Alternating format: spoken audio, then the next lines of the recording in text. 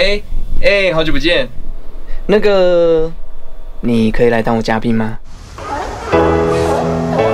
亲自邀请嘉宾，怎么好像不太顺利？还是你可以来弹吉他？喂，李安。维里安九月唱进小巨蛋，就想邀请熟悉的好伙伴海狮到场。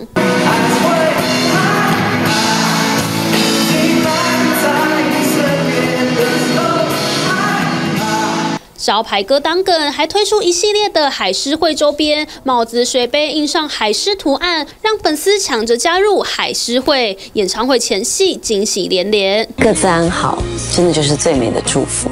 有的时候不同时间点遇到的缘分，在那个当下我们努力过了，成为不了最终的幸福，就成全了最好的祝福。在刘若英歌声中泛泪，林依晨、柯佳燕分享心底一首刘若英的经典歌。后来，我总算学会了如何去爱，可惜你早已远去，消失在人海。亲爱的，你好吗？简简单单的一句话，就胜过千言万语的问候。还有陈婷妮、王静都想起听到刘若英歌曲的故事，在演唱会登场前带来感动的还有她。